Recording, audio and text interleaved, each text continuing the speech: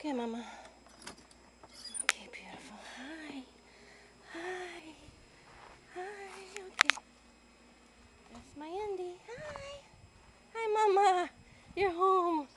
You made it home. It's been a long days, yeah. It's been a long days. I said I'd bring you home, didn't I? It's a beautiful day today. Oh. Here's Indie. She's back home at her church and her disc golf course. It all belongs to her. It all belongs to you, Indie, still. Okay?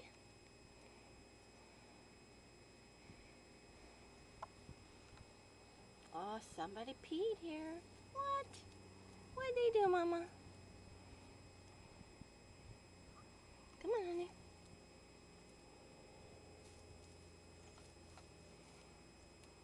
oh, I love this girl. She's wonderful. She is wonderful. Found her here three years ago, sitting on a folded up, thrown away blanket in the back. She was a skinny, bones kitten.